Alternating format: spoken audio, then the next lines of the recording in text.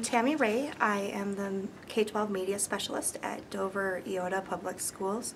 So I teach K-6 media classes and work K-12 with the teachers and staff um, to have media and technology within their classrooms as well. So some of the things that we have worked on in coding and computer science related programming um, have been working with code.org and that has been K-6 um, for my media classes. And then um, we worked with Spheros for third grade, as well as the Girls Who Code clubs for the middle school, high school. And the elementary club, which is um, grades three through five, we'll be working with them um, this coming week as well.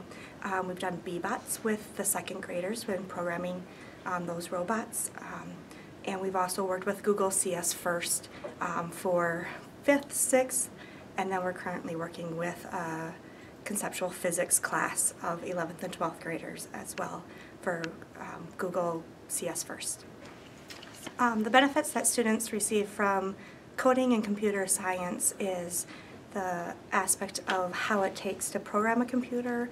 Um, block coding has been a huge part of what we've been doing with coding. Um, and knowing that type of language, which is important in these 21st century skills for these um, younger students. Um, they've also have been very uh, creative in their um, projects that they've um, done as well as coding the different robots and how to make the lights move, the sounds, um, adding uh, speaking features to those robots uh, has been absolutely wonderful to see their enjoyment.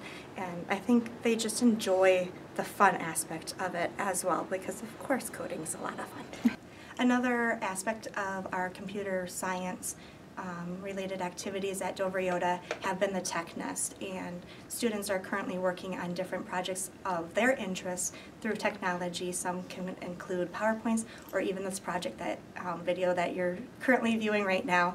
Um, so uh, shout out to our Tech Nest um, friends. The American um, Library Association is uh, ALA is the acronym for it and they are a nationwide organization that has teamed up with Google um, and the Google CS First programming um, for ready to code um, libraries as well um, that have put together some funding. There's a million dollars that they have put towards um, micro funding um, for 250 libraries so far, but they also have the Ready to Code program that has been launched just this last week as well.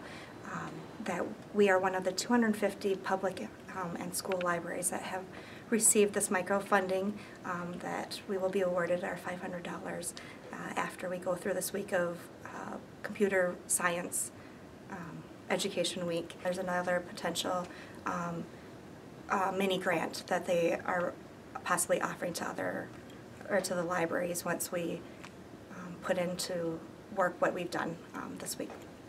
Thank you ALA and Google. We really appreciate your help with this endeavor.